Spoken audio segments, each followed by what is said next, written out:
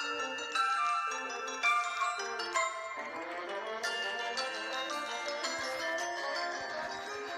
beginning to look a lot like Christmas everywhere you go.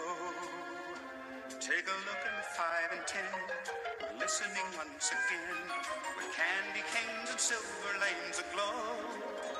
It's beginning to look a lot like Christmas.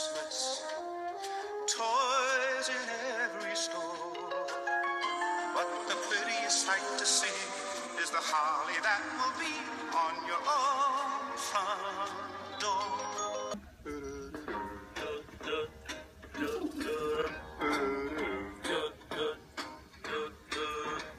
I'm dreaming of a white Christmas, just like the Almost ones time to go. I used to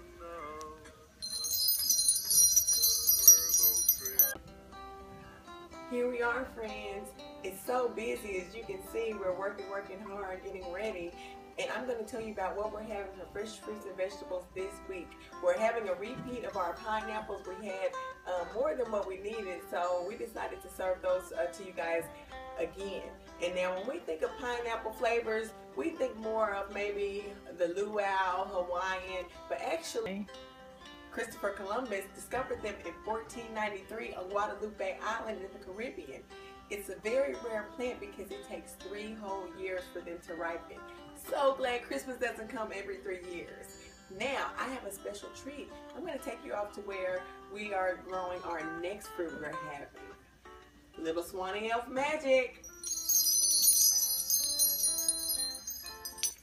Here we are. This is a grapefruit tree, guys. And um, grapefruit came from a place called Barbados in the 18th century. That was long, long time ago. And the fruit's name was given to it by the Jamaicans because of the way that they grow from the trees. They look like little bunches of grapes. And also a fun fact about our grapefruits are that they are 75% juice. That's a lot of juice. That's almost 100%.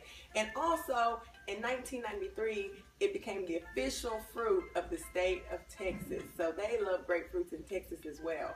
I hope you guys enjoy it. I'm going to see if I can reach up and pick one so you guys can see it. Got it! When um, I cut them up for you and they're sliced, I hope you guys enjoy them. And I'll see you next week for our fresh fruits and vegetables. Bye, friend.